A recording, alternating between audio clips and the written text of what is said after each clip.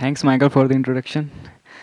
And uh, hello, everyone. Um, I am Nilesh, and uh, I'm here to talk about uh, the feature, new newly added feature called uh, Create Volto app, or uh, you could say it uh, Volto as library also. So before that, first of all, I would like to thank to the community for giving me this opportunity to present my talk here. So as this was, this is my first international talk. So yeah, thank you, Plone Foundation. And uh, okay, hello. so I've been working uh, into Google Summer of Codes uh, this year uh, with the with Plone Foundation, and uh, uh, it all started with Breeze actually. yeah, so it went well. So why React? Why I have chosen React because you know React has a very good ecosystem, of course, and it has a you know we have we have many benefits of using React as React many uh, benefits of using React as a front end. Uh, it has a simpler declarative model, so just we, we can just you know uh, reuse the components and of course, it's easy to learn and implement, and it has the great developer tools. And of course, the ecosystem is nice, nicer actually. so, uh, okay, React is okay. Everyone know React. What is React? But uh, this is a concept, uh, a big big concept coming that is uh, Plone React or Volto. So it was before uh, called as Plone React. Now it's named as Volto. It's same, but names are different. But now it's called as Volto. So everyone knows uh, many talks have completed. So uh, it's a React-based front end which comes uh, fully with the power of Plone REST API. So uh, these are the key features of uh, Volto. Uh, it uses the semantic theme, newly designed semantic theme called Pastanaga, and it's incredibly fast. Of course, now I'll come to that later.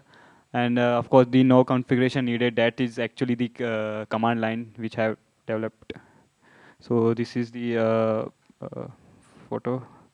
Okay the problem I will discuss the problem that was early is we are having Volto before also, uh, Plone React before also, but it uh, doesn't act like a library. Okay, so right now we are having a library as a library, but uh, before it, does, it doesn't act like a library. So uh, so we were having this uh, this file structure of the uh, Volto before. So what user have to do is they just have to clone that whole uh, repo and they have uh, that uh, you know that structure that very big struct code structure which they do not have to deal with necessarily. So this is the code structure before. So these are the uh, complications which we we were having before a complex directory structure, uh, you know, we need to clone the repo at the configuration that is main and that uh, the compilation time also. These are actually for uh, persons which are having, uh, you know, uh, not good configuration laptops, uh, maybe like me. so the compilation times are very more and it, it takes also the bundle sizes were also more. So I think we need some help. So so we have just decided to make it as a library so that uh, people can just import features from uh, them in, into their boilerplate and they can just override the components. I'll come to that. So we, of course, uh, we, we need to do something. So just we just introduce a new uh, feature in Volto that we will create a Volto as a library. So we have decided, yeah, we can build it as a feature uh, we can create a, we can create it as a dependency to other uh, uh, you know boilerplate that we wherever we want to use. So we create as a package. So what are the benefits that we'll uh, get as a library that uh, okay all all all of the work should be done in uh, one command only. So we have a command CLI, so we can do in one command only, and it initializes the boilerplate. It gives you, it gives us the all the directory structure what we want, and we just do uh, yarn start and just we we are having our development server running, and uh, we are uh, calling the code directly from uh, Volto library. Just we are we are what we are doing just import dash dash everything from at the rate plone plone react that library. So decreased, yeah, compilation times are also uh, decreased, and we the big thing is we are able to override the components and themes that uh, already Rob has given training how to override this. So we are having the customization folder, and we have to match the directory uh, as the same Volto has for the overriding the components. And uh, uh so this was this was my story actually. when I started, uh, I didn't know how to start actually, uh, how to uh, manage these, how to make something as a library. So at this at that time was there was no sure method, so I contacted uh, Victor. They just initialized and just, just started. Uh, they just uh, give me the directions. Oh, they, we have to do this and all. and uh, this is a feature list uh, which are to be implemented in making it as a library and a CLI tool. So first we have to implement the uh, scripts that uh, we need to we need to start the server. We have the production build and the internationalization scripts. The boilerplate code are the code which will which we have as an output. So that is output code. We, I'll show you. And uh, the scaffold tool, of course, the CLI. So this is the uh, CLI create Volto app. So it's available as npm package. So we just uh, install npm install global create Volto app and then use it by create a Volto app, anything, any app name. It should follow the npm conventions. okay, so uh, the code structure, if I show.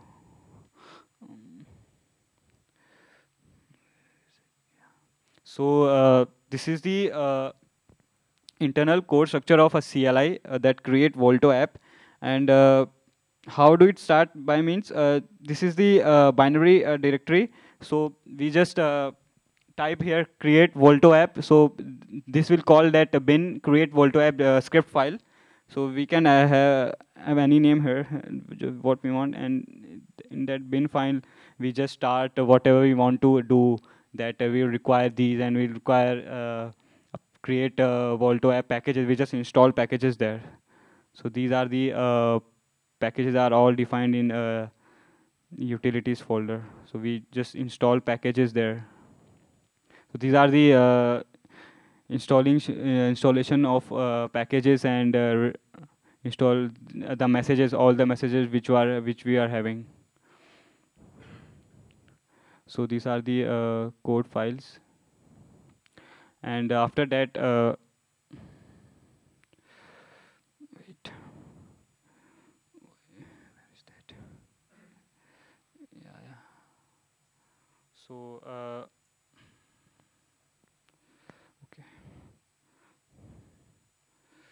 so let me show you show, show you the demo of it how create Volto app uh, works. So we just uh, type uh, create Volto app, create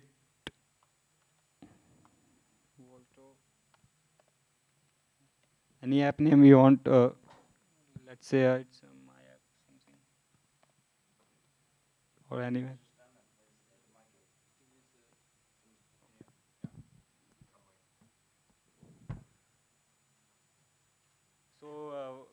It does uh, actually, uh, you know, creating an app, uh, CLI, and installing that Plone Volto as a library. So it's installing, it copies the, all the, you know, boilerplate to your repo, and installing it at finish just, you know, in no time.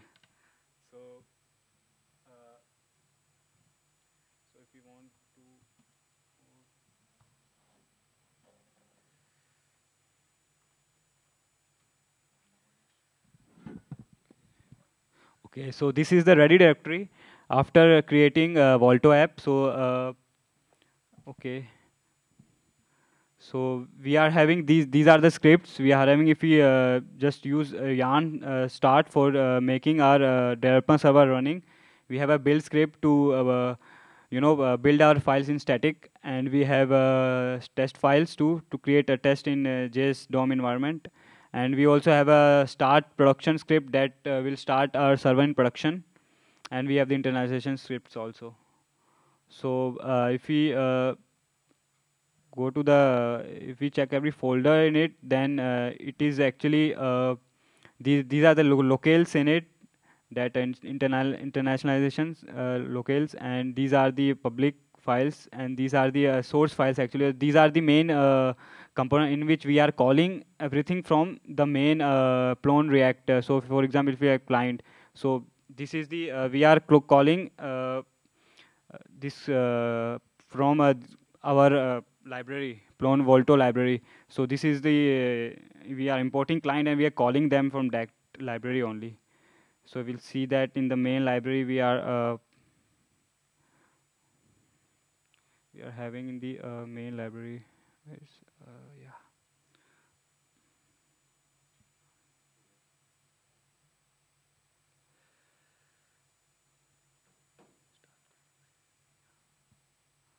So uh, there we are calling from that uh, boilerplate, we are calling everything from that starter. So we don't need to, uh, you know, co copy all over this to our uh, boilerplate as it not needed, as it, as it is a development file. So it is uh, always needed in development mode. So we the user doesn't need it. So we, are simply calling it uh, from the library only. So that is actually the value of create Volto app or making anything as a library that we we are not dealing with any uh, unused code, um, un, uh, you know that code. So that is a main advantage. So okay, demo I have given already. Let me start the server for you. so this is the app. If if I if I if I use yarn start, we just start the server with the development mode. Yarn start. So it's now starting the server directly in the development mode. So we just we do not need to uh, you know it's it's so, it's so fast actually. You look at it, it's so fast. It's like uh, you know it's like it work like a charm. And before we we had a develop webpack server webpack development server which uh, also works but it takes a uh, little more time than this so that started the server and we just have it on localhost our own.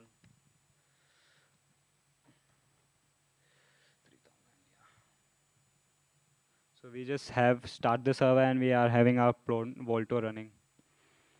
So we just log in and we can use it backend in not start.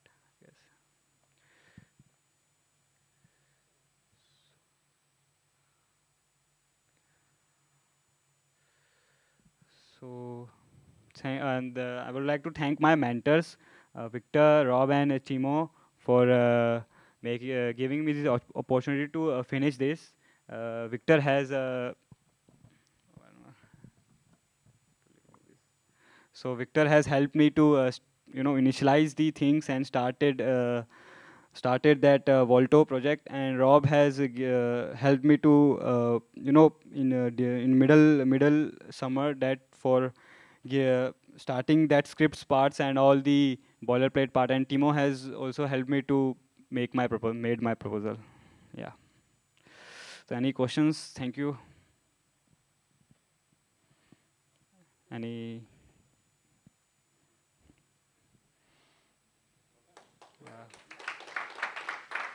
Thank you.